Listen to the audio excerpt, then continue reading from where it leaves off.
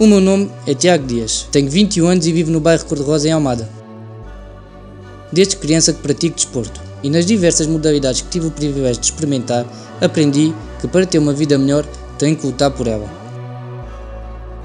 Sempre fui muito ativo e quando a pandemia chegou, pensei que não poderia ficar fechado em casa, que não conseguiria ficar parado, quando tantas pessoas passavam pelos piores momentos da sua vida.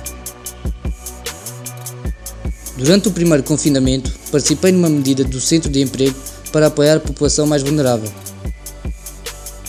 Depois deste apoio terminar, fui convidado para trabalhar num centro de apoio residencial que acolhe a população sem abrigo da minha cidade.